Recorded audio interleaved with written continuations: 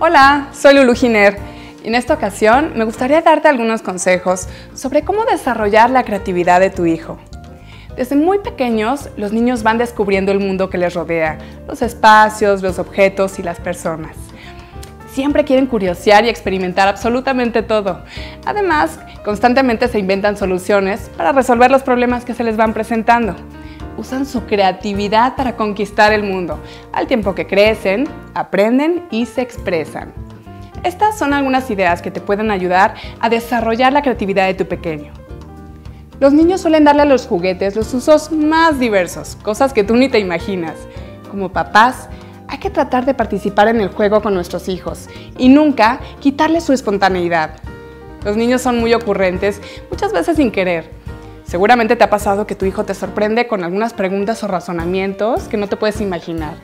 Bueno, pues el lenguaje es un campo de experimentación muy bueno que nosotros tenemos que aprovechar.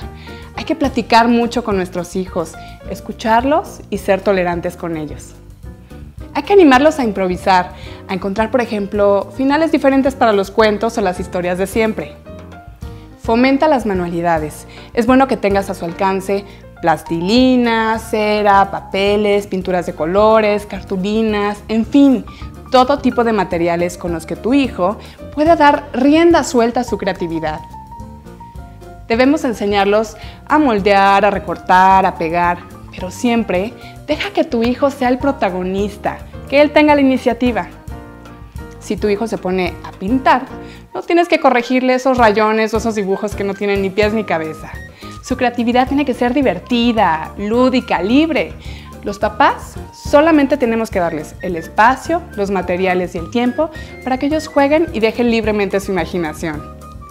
El juego creativo no se lleva bien con la obsesión de algunos padres por el orden y la limpieza, sobre todo cuando se trata de niños pequeños.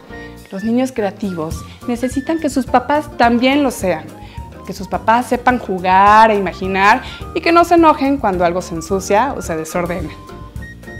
Trata de encontrar un equilibrio sano con los límites que le exiges a tu hijo.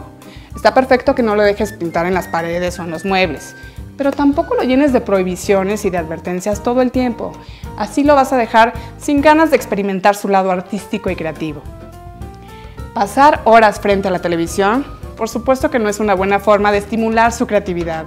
Algunos programas sin duda pueden ser muy educativos, pero la televisión en exceso no fomenta la creatividad, la exploración ni la imaginación de tu hijo. Soy Lulu Giner y recuerda, la mejor forma de educar es siempre a través del ejemplo.